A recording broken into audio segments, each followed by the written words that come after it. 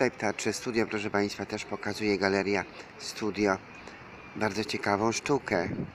Współczesną też, żebyście Państwo nie byli tacy dosłowni, że jak Pan Jezus Chrystus brzydki, bo to korona cierniowa, bo to krew leciała, że brzydki brudny prowadzą go na szafot, no to wszyscy pluli.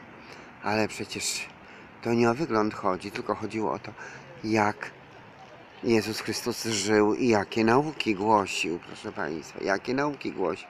A Moherowa, jak ona patrzy, że jej się nie zgadza z brewiarzem, jak się jej nie zgadza z książeczką do nabożeństwa, to oni pod wpływem, proszę Państwa, psychologii tłumu, bo to przecież jest coś obrzydliwego, ta psychologia tłumu, pluli, krzyczeli, ukrzyżuj go, ukrzyżuj go, napal z nim, napal z nim.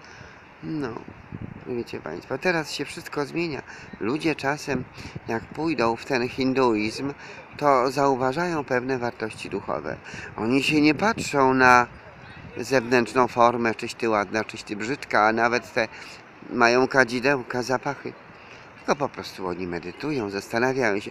Natomiast szatan, diabeł tak urobił ten zły świat, że moherowi są dosłowni, czyli tak, jak jesteś ładna, czyli gdy jesteś podobna do grobu pobielanego, to coś z ciebie będzie, to jesteś świetna.